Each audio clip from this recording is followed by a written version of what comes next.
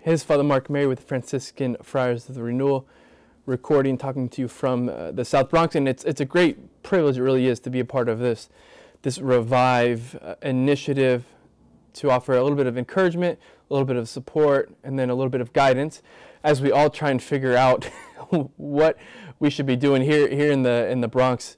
Uh, you know, New York City has been referred to as sort of the the hub the, the main point where, where the coronavirus is in, in the States. And slowly but surely, we're getting everything shut down, locked down. And I think uh, uh formally our, our quarantine is going to be beginning uh, in just about 24 hours. And for all of us, it's just, right, it's just, it's a, just an interesting time. So I'm just going to share a little bit uh, from the angle of, of prayer and from my own reflection on, on what's going on and what it is the Lord is inviting myself to do and, and the friars to do. And hopefully this is this can be helpful for you as, as pastors and, and parish staff as well. And I keep going back, and I'm not the only one who's who's sort of interpreting or reflecting upon all of this in the lens of cloistered or monastic life. Um, but but I had this opportunity a few months ago uh, to go down to Honduras, where the friars we have we have a hospital there. And right in front of our hospital is a, um, a monastery of Poor Clare nuns, so cloistered nun convent.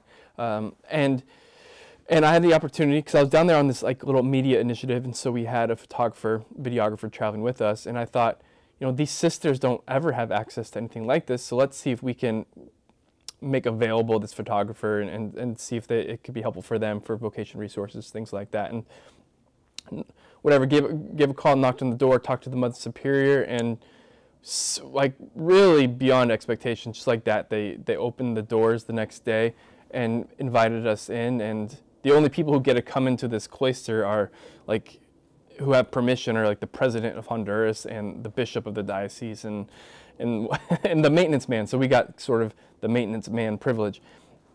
And we went in there, and this mother superior was just like a genius, and could have been a Hollywood producer, and she just scheduled out, basically gave us a taste of their entire day in three hours. And so we prayed with them, had holy hour with them, or adoration with them, saw where they saw where they ate, saw where they did their manual labor, saw where they played games, uh, saw saw their cells.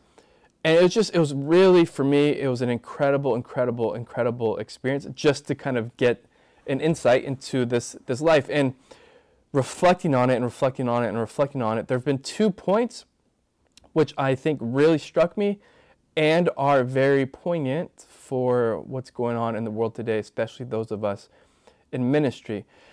First of all, I got to see their entire like world, their entire geographic physical space, and it was not big. I mean, I think I could probably from the front to the back I could probably throw a baseball over it. Definitely like a lob wedge, no doubt about it. It's a small space. And one of the things that hit me was that, um, you know, they don't have to travel geographically or physically because of how deeply they're going interiorly. And, and the joy on their, on their faces and just the, the peace that they have, you can't, you can't fake it. And I've never experienced a more eloquent, or provocative witness to the depths and the reality of, of the internal journal, journey in the spiritual life. And so, for those of us getting quarantined, I don't know if that's your situation in your diocese, your location, um, but many of you know things are shutting down.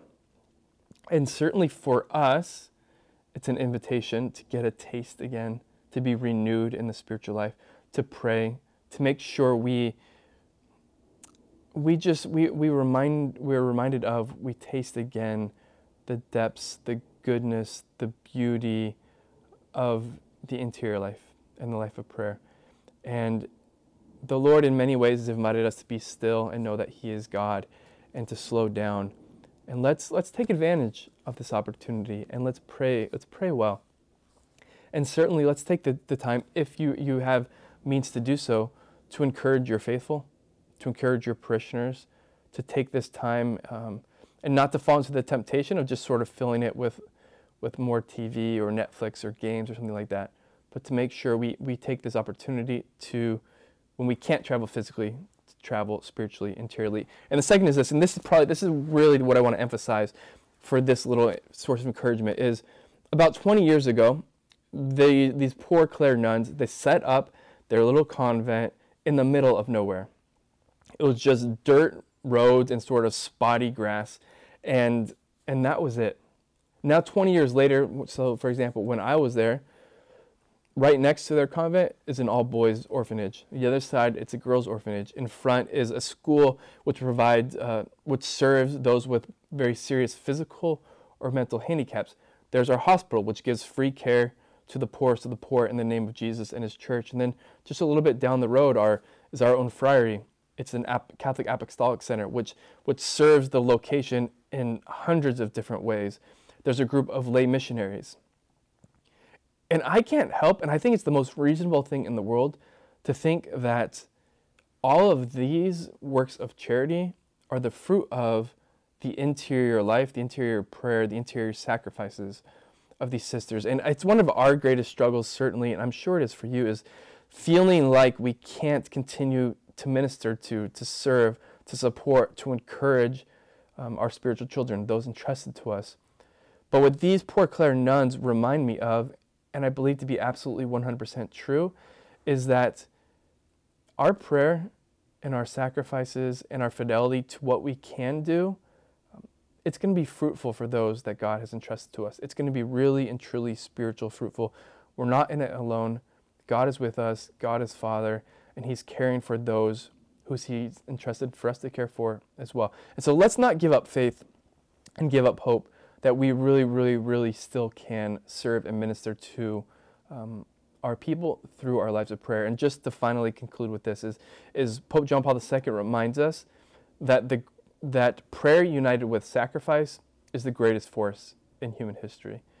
And a lot is shut down, but we still have access to prayer united with sacrifice. So let's make sure um, we keep praying, we keep surrendering to divine providence and the circumstances of our lives and keep our hearts wide open so that we can keep loving those that God has entrusted to us. It's a tough time. It's, it's a unique time. We're all trying to figure it out, but we're not trying to figure it out alone. The Lord is 100% with us. Um, let's grow in our fidelity to Him, our faithfulness to Him, our trust in Him. Let's go deep. Let's go deep in the interior life. And, but let's keep our hearts wide open so that we keep praying, making little sacrifices, little acts of surrender um, on behalf of of God's people. Thank you so much for all you're doing on the front lines. Happy to be in this journey. Glad you're on our team. Um, God is good and God is faithful. Amen. God bless y'all.